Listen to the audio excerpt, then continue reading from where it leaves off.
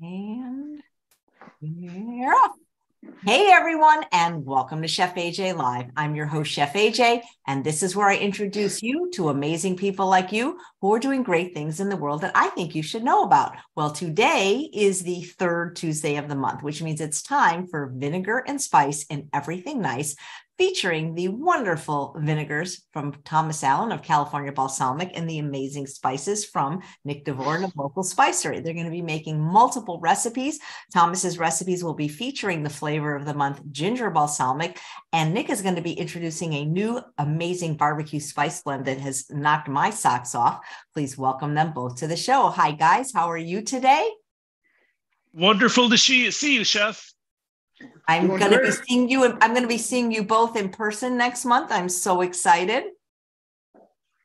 You'll have to give us your new address out there because we don't know where we're going. oh, you're funny. That's how. Okay, I guess that would help you get here. Great. So, Thomas, ginger balsamic is one of the newer flavors, isn't it? We developed that one about a, a, year and a half ago, probably during uh, COVID. We came out with that one because we realized we had the teriyaki with fresh uh, garlic and ginger, but then there were customers who simply asked, "Can't we just have a ginger balsamic?" And we thought, "Oh, that would be crazy easy to do with organic ginger powder that we use." And uh, it's been a, a, wonderful product ever since we developed it. Uh, you know, a year and a half, two years ago. Yeah, it's very good we have lots of people who like it. So that's, that's a wonderful thing. And, yeah, Linda, who's watching live, said she just bought it and she loves it. Linda, you're an extremely smart young lady. Thank you. it's nice because it's I, I you know the, the, the dark ones and the the clear ones they're totally different. And so it's nice to have you know the flavors uh, be available in both. And and the main reason why we use more white balsamic than dark balsamic is simply that you can see the ingredients inside a clear white balsamic. Our, our ginger and uh, onion and cucumber, those would all be completely black and you couldn't see inside of it. And chef, as you know, your curry balsamic, if we use the dark balsamic, you wouldn't see that there's probably a quarter inch of, of curry uh, spice powder at the bottom of the bottle that has to be shook up every time you use it. So that's really important that you can see it and blend it properly so everything is off the bottom or the top of the bottle. And that's why we use more white than we do dark. Interesting. Would you say the white's a little bit sweeter? It actually is not. It it's is not. Um, 30 calories a tablespoon for the white balsamic and 36 calories for the dark. Very interesting. Yeah. Who would have thunk it? Not me. Hey, chef, as on a personal note, today is one of the most important days in my uh, personal bowling career. Tonight's the last night of the season, and and if I can do just about my average, I will finish the season at a 220 average. Um, if I can just do a normal night. So I have been nervous last night and this morning uh, about going to uh, to the bowling alley in Windsor tonight and and for the last night of the season.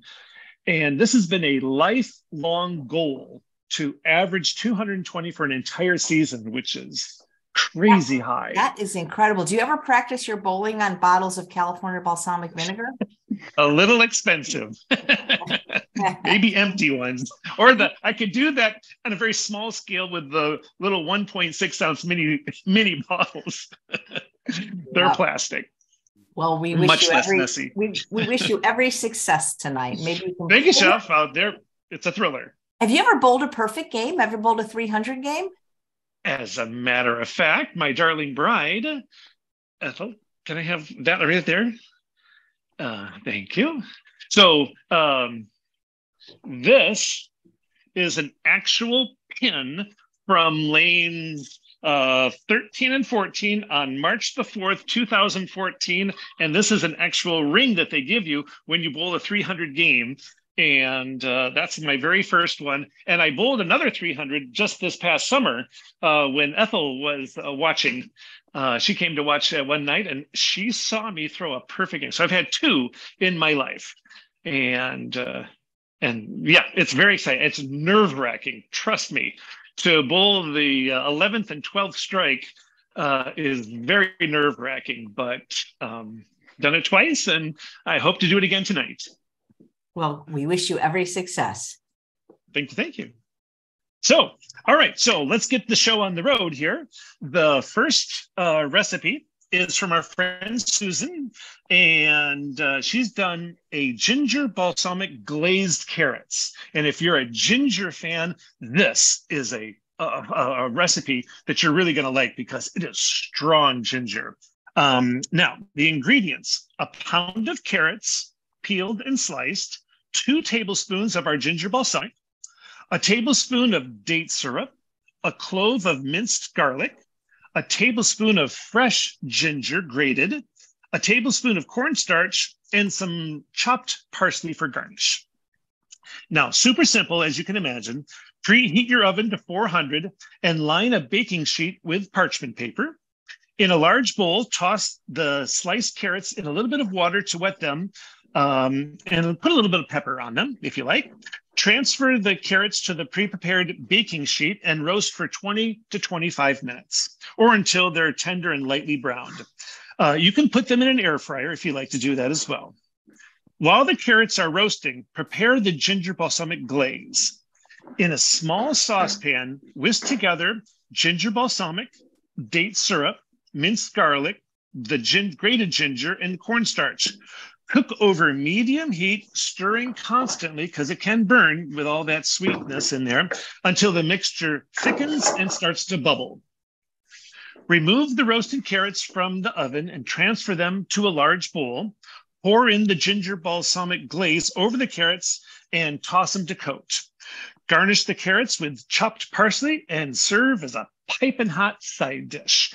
Thank you very much. And and that's it. So now when we just tried that we we finished the glaze about uh, 25 minutes ago. And uh, and we tried it and i went wow anybody who likes ginger this is strong. And you're going to like it a lot because it's a wonderful side dish. So it, thank you susan. like, uh, it looks like something you'd get in a like an asian restaurant. It looks delicious Mm-hmm. And and the flavor of it. I mean, the the sauce that we're doing because it really thickens up. You have to be really careful because it can get too thick. Don't let as it cools a little bit, it gets even thicker. So don't let it get too thick in the saucepan because uh, it will thicken up as it cools down. So just be aware of that. All right. So there's recipe number one. That was quick and easy. Thank you, Susan. Remember, you're going to get two complimentary eight ounce bottles of your uh, favorite balsamic. So uh, send us an email with what you'd like, Susan. Okay. And now a little dessert action. This is uh, a ginger balsamic strawberry shortcake.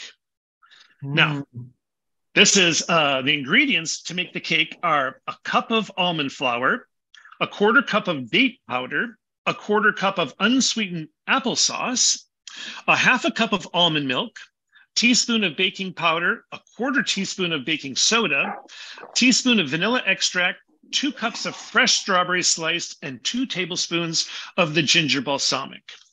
So you want to preheat your oven to, to, 37, to, to 350 using a nine inch non-stick or silicone cake pan in a large bowl, mixing bowl, whisk together the flour, date powder, baking powder, baking soda, and then add the applesauce, almond milk, and vanilla extract to the bowl. Using a hand mixer or a stand mixer, beat the mixture on a low speed until everything is well combined. Now you pour the batter into the prepared cake pan and bake for 20, 25 minutes, or until a toothpick inserted uh, into the center comes out clean. While the shortcake is baking, prepare the ginger balsamic strawberries. In a small bowl, toss the sliced strawberries with the ginger balsamic until they're well coated. And once the shortcake is done baking, remove it from the oven and let it cool in the pan for a few minutes. Then remove the shortcake from the pan and let it cool completely on a wire rack. Slice the shortcake in half horizontally and using a serrated knife. Place the bottom half of the shortcake on a serving plate and spoon half of the ginger balsamic strawberries on top. Cover the top of half of the shortcake and spoon the remaining strawberries on top. And uh, that's what we did. We garnished with the strawberries. So this is the final product here.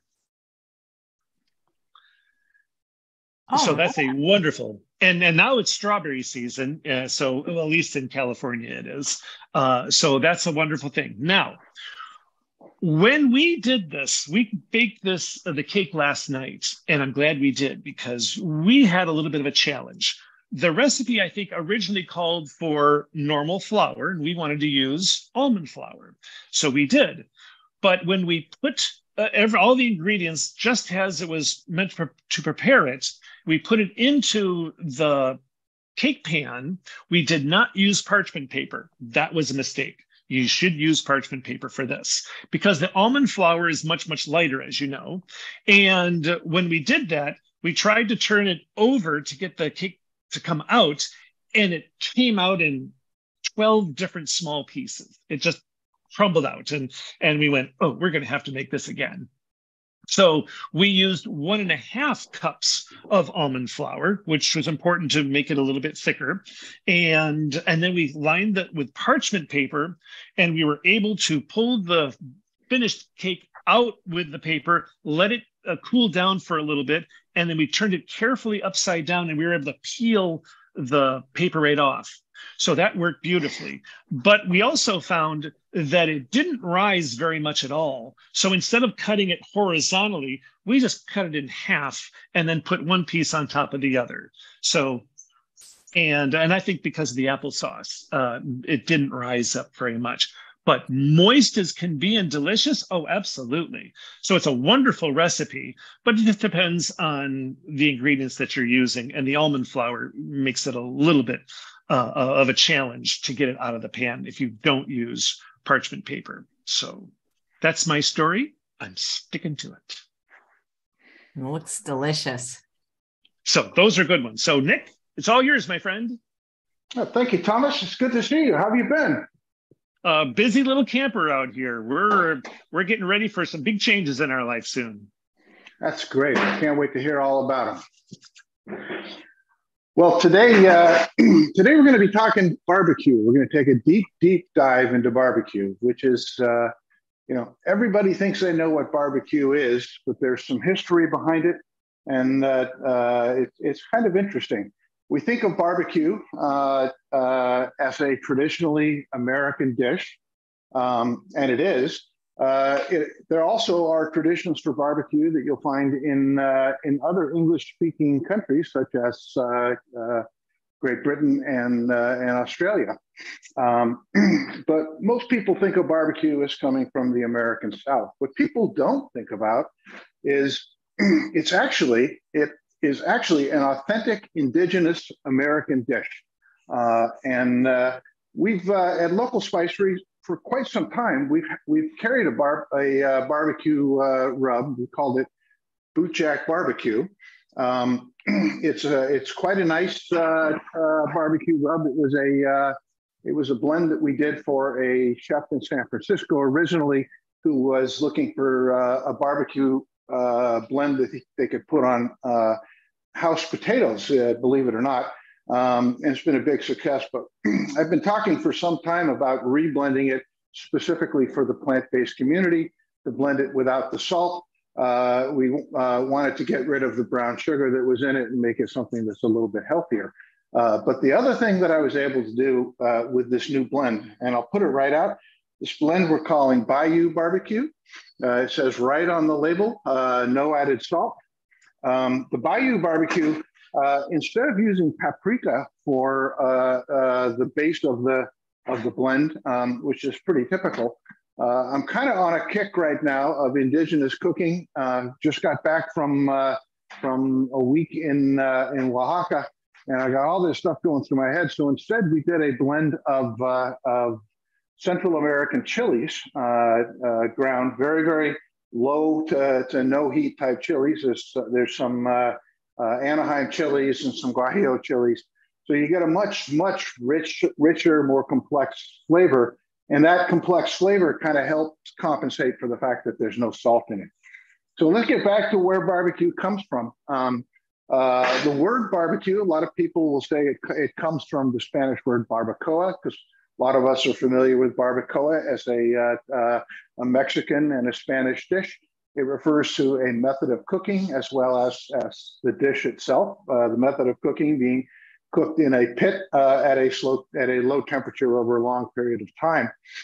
But barbacoa itself uh, comes from the uh, the late 1400s. there's a guy named Christopher Columbus who sailed across the Atlantic Ocean and landed in the island of Hispaniola, where the natives of the Caribbean, and by the way, the natives of, uh, of Florida as well, uh, uh, had a method of cooking that they called uh, uh, barbaraca or barbaracu. Uh, and that, in fact, literally translated from their language means, you know, the structure of sticks put together over a fire. and that's where barbecue comes from. It is, in fact, as I said, an original indigenous dish. Um, uh, I'm going to just kind of kind of quickly go through uh, uh, some quick quick options. We've only been cooking with this for a few weeks, uh, but uh, we're pretty excited about all of the options that we have now to be, be using our barbecue blend uh, in our, our plant-based cooking. Um, the first thing I think I'm going to do is we're doing a, a barbecue bean. And uh, the barbecue bean is, uh, you know, everything, you know, everything I do here, it's simple. Uh, I, I, started uh, here in the, uh, uh, here on my side, it's just a pot where I've sauteed one small onion, not coarsely chopped, not fine, right in the middle, about a quarter inch, quarter inch dice on the onion. And I've sauteed that down just to the point where they're soft. Um, the other two things that I've done in advance is I've, I've cooked a, uh, a pot of pinto beans and uh, I, will give you my recipe for pinto beans. I do them on the in the instant pot. Uh, usually, I'll, I'll I'll do them without soaking them overnight. But I actually had the beans in my hand last night, and I thought, why not? So I did soak them over uh, overnight last night. Uh, I use a pound of pinto beans, uh, six cups of water. I have a, I put in a coarsely chopped onion, uh, I put a bay leaf and I put a few strips of kombu in, and that's it. Uh, uh, they come out, uh, uh, you know, with a just just a, uh, a, subtle, nice flavor to them, and the the skins are are nice and soft and well conditioned. They're very pleasant. Um, if I'm if I've pre-soaked them overnight, I'll cook them at 15 minutes. And at the end of the 15 minutes, I, I do a quick release. I don't let them release over time.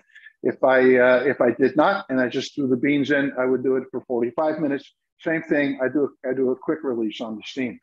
Um, the other thing that I've done in advance uh, relates to uh, to the blender, which I use a lot. Uh, I did. Uh, uh, you know, last month a lot of people complained about the noise of the blender, so we're not going to do that again. So I've done this in advance.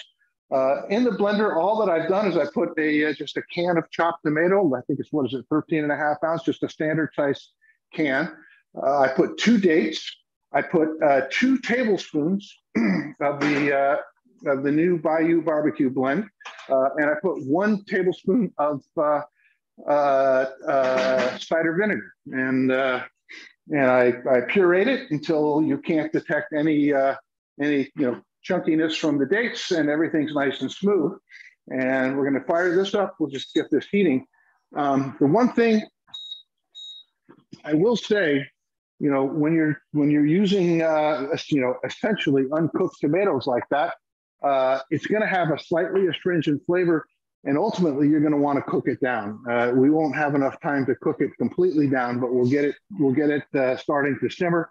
Um, I do recommend that you do this over a period of time, say at least 20, 25 minutes of simmering, or if you wanted to do baked beans, you could put this whole thing together, put it in a baking dish, uh, uh, and uh, put it in your oven, 300, 350, 375 for a half hour or so, and you'd have wonderful baked beans.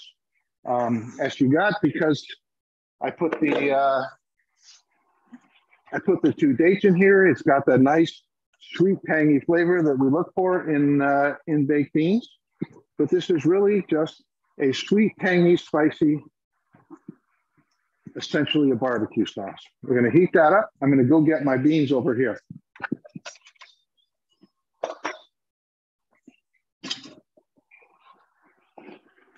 So while it's heating, I'm just going to transfer some beans over. If you're doing this using canned beans, um, I think I did this the other night using canned beans, and I put three three standard size uh, cans of beans in. All I'm going to do is just transfer some over. There's some kombu we take out.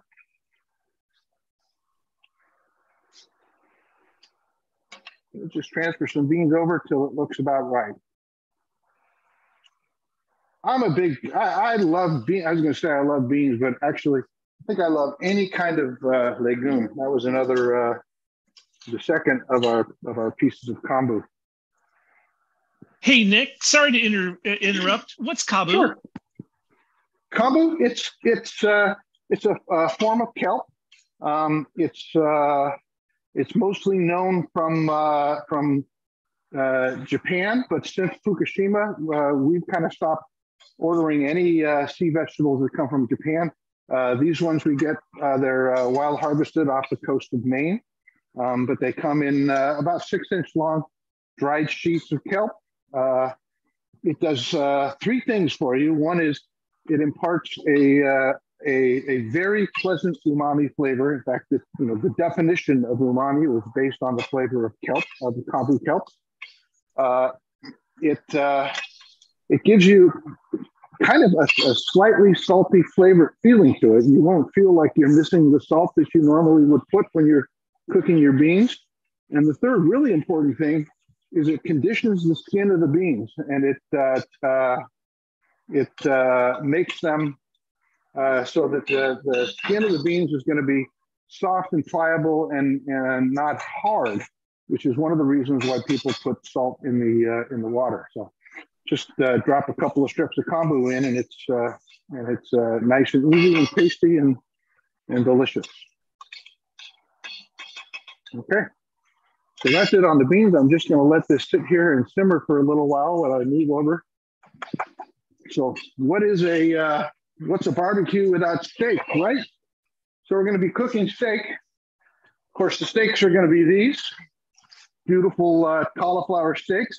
What I did is I, uh, I just washed the cauliflower and I sliced it into four pieces. Um, if uh, if uh, you try this at home and you're frustrated because you're really only getting two steaks out of it, and these end pieces just fall apart, happens to me every time. In fact, I just got really lucky that this held together like that. Usually, I'll get two steaks out from the middle. I cut them; they're about about an inch thick and then the ends fall apart into florets, and I'll serve the steaks with the florets all around them. Um, super, super easy, almost you know, almost uh, nothing to them. All that I'm going to do in here, I've got some uh, uh, maple syrup. Uh, it's about a tablespoon. Um, the idea is not really to make these sweet. We're not trying to make a dessert. I just want to get a little tiny bit of the syrup on each one of these things to help the uh, uh, help the, the spice blend stick to the, uh, uh, the cauliflower. I see just a really quick drizzle here. I'm not even going to use all of this, just a very little amount.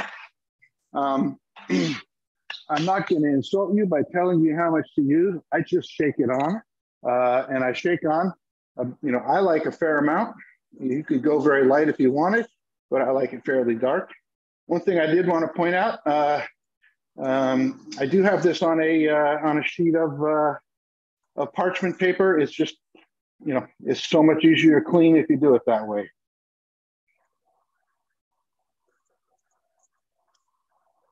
Okay, and that's that's how it looks when I've got it seasoned. This goes in the oven at 375 degrees. Cooks about 40 minutes. Just wait until it's nice and uh, uh, nice and soft. So uh, one of my, uh, you know, one of my very, very early cooking idols was Julia Child. And one of the things that I learned from her is this trick. so now that the cauliflower is done, I'm going to pull it out of the oven, and this is how it looks when it's been cooked. Isn't that gorgeous?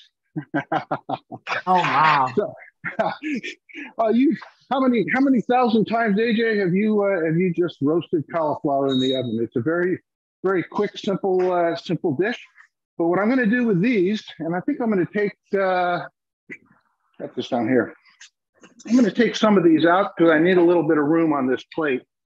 Um, I did make also a basic sauce, and uh, you know, I am, a, you know, if you watch, uh, you watch my uh, my videos with AJ, you'll see that I I'm always doing some kind of a sauce. It just for me, it, it, it connects the food, it puts it together, and it's it's probably the best way that the food connects with spices. At least it is for me. So I make I made a simple sauce. This is the kind of sauce that I usually make that we put we use it as a uh, uh, uh, as a salad dressing. We'll put it over bowls. We'll put it in wraps. But it's it's just a uh, a cashew cream, half a cup each of uh, cashew and water. Uh, I added one tablespoon of the Bayou barbecue blend and one tablespoon of cider vinegar to it. It's got a beautiful orange color and it just gives you a little sauce that's gonna, uh, my gorgeous, there we go.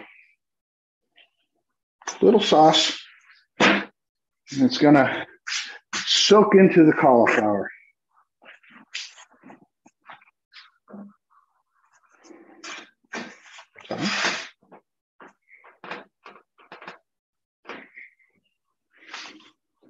Know, a little bit more here.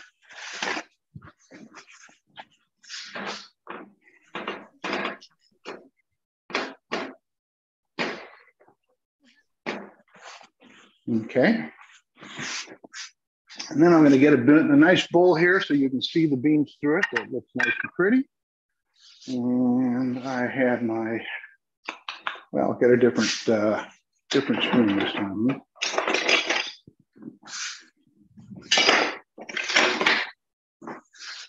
Some of my very favorite things to use a, a barbecue blend for in plant-based cooking. Um, you know, the first thing that I had to try was, uh, uh, you know, we do uh, we do grilled portobello mushrooms a lot, and uh, just to sprinkle some of the uh, barbecue, uh, the Bayou barbecue blend onto the portobellos, it's a absolutely perfect pairing, delicious. Um, I haven't tried this yet, but I'm really looking forward to. You know, we do jackfruit pulled pork style I, will be using this blend uh, in that to uh, for the barbecue flavoring in that. And speaking of pulled pork, what's pulled pork uh, without the slaw? I think just adding a little bit of barbecue barbecue blend into the slaw would be spectacular. Um, uh, sweet potato fries we've done a couple of times. They're delicious. Uh, wraps and bowls, as I mentioned, you can either do them in a sauce like this, or you can do them with just just sprinkle it use it as a uh, as a finishing type sauce, finishing type uh, uh, seasoning. But you can see there it is finished, very quick and simple, uh, and absolutely delicious. With uh, the idea is uh, you know bringing regional American favorite dishes. That this is probably the first one that where it wasn't originally even intended for uh, for vegetables. I mean, clearly barbecue was originally intended for meat, but it's such an important flavor to us and to go back to, and it's great to have it uh, in the uh, in the repertoire. And so uh, uh, I do have uh, a couple of, of kind of housekeeping. The first is if you order from us, the best way to make sure that you're getting a product that is whole food plant based go through Chef AJ's uh, webpage, which is www.localspicery.com slash Chef AJ. Uh, if you do that, you will get uh, two free samples of SOS free blends. Uh, you can request, and we do our very best to, uh, to satisfy people's requests. It's not 100%. Sometimes you'll get a note or a call from us that we can't comply, but we really try. And the second is uh, just to let you know, this is such a new blend, for, such a new blend for us. And uh, I was telling Charles just a little while ago, we had a uh, had a blow up here at the mill and uh, uh, temporarily we can't print any labels. So uh, it is up on the website. We can take orders. Probably won't ship till early next week. Um, but other than that, we're uh, we're really excited about it and looking forward to share it with you. Well, I put it on, I didn't have portobello mushrooms, but I put it on regular mushrooms and I air fried it. And that blend was incredible. And I, I made potato chips with it. I made barbecue potato chips in the microwave. I, I love it on mushrooms. It is so good with mushrooms. Yep. It's a good one. Nick, you rock, my friend. That, that dish looked fantastic. And Ethel and I are absolutely portobello fanatics as well. So good for you.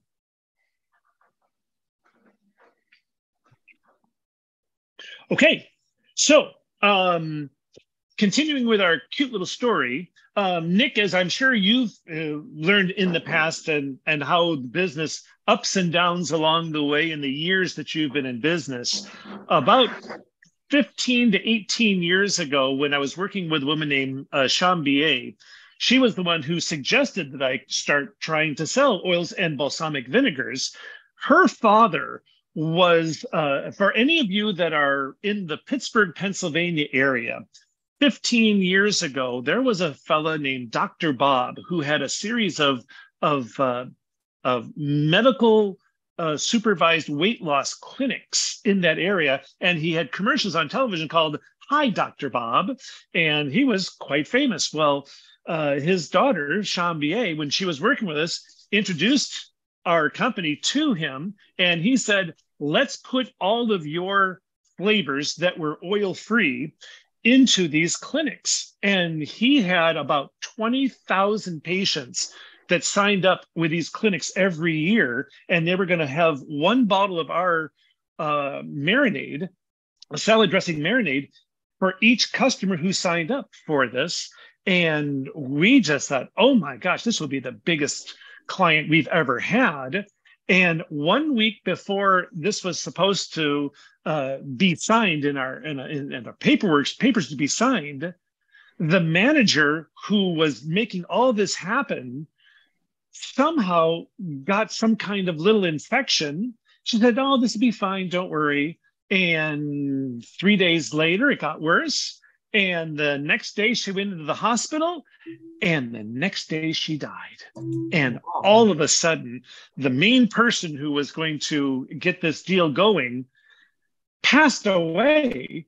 And we were in panic mode. And of course, as all family businesses happen, uh, her brother was the one who took over that spot. And the relationship between Chambier's brother and her was beyond horrible and he ixnayed the deal and the, the deal never happened. So, you know, when something you think is going to be so fantastic is right on your plate, and then something happens and it's gone. And that was uh, uh, one of the saddest uh, deal breaking events simply because she didn't take care of a little infection, didn't go have it looked at and a week later she had died. And what a shame that that happened to her and her family. And and we thought what a shame for our business that it just all of a sudden didn't happen the way we thought it would. But good things happen to those who wait. And 15 years later chef we met you and and life is dramatically better. So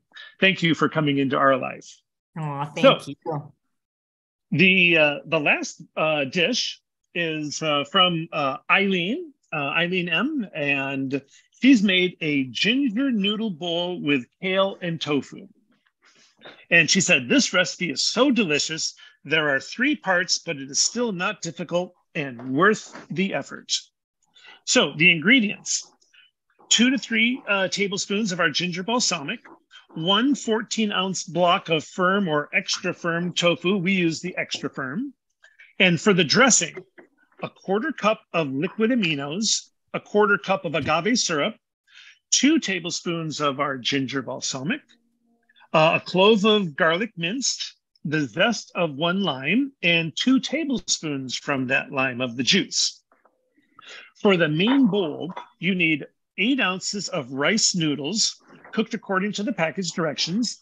And note, rinse well with cold water to prevent clumping or overcooking uh, three green onions diced, four cups of thinly sliced kale. And she said, uh, Lacinato kale, also known as dinosaur kale, is the very tender and works the best, but any kale cut into slivers will work as well.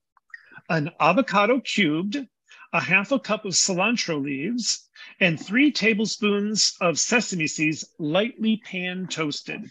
And she makes another note saying, lightly toasting the sesame seeds enhances the flavor.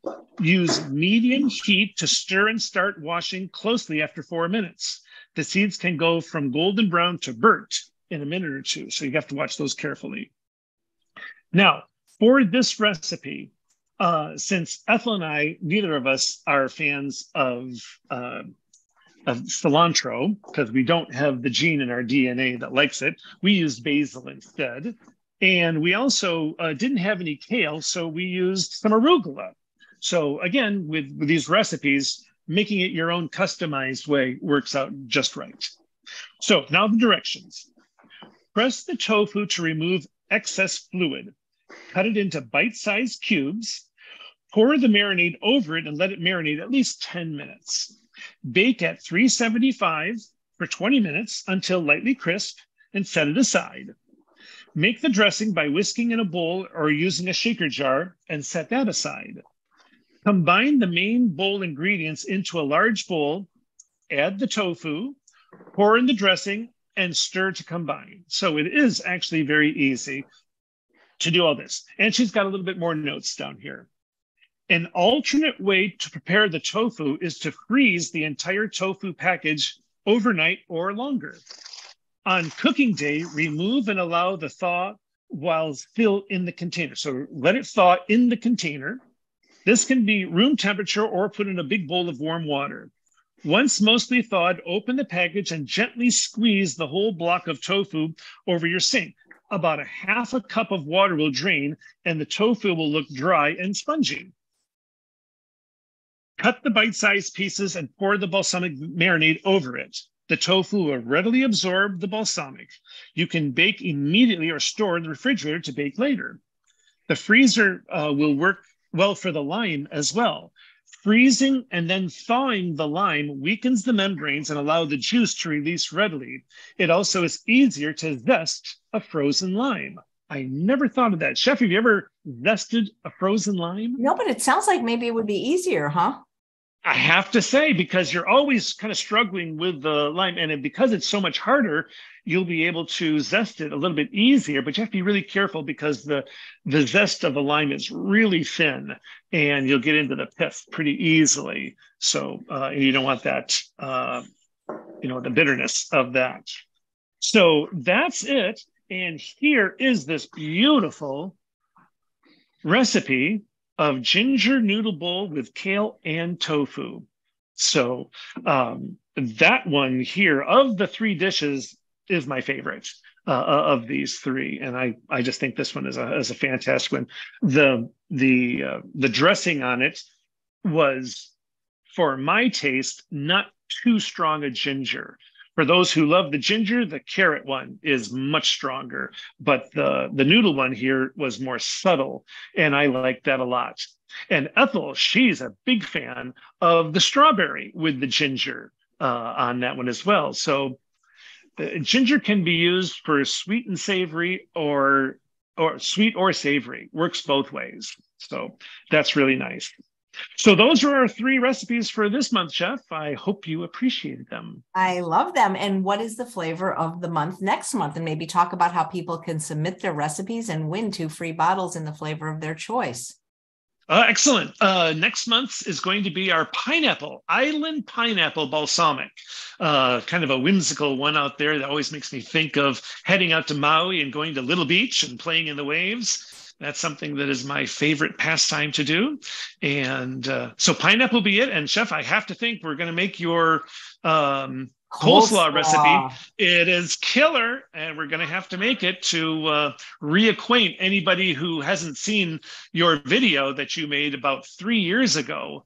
Um, I think I glanced at it and you had somewhere near 180,000 views on it. So I'm more than impressed.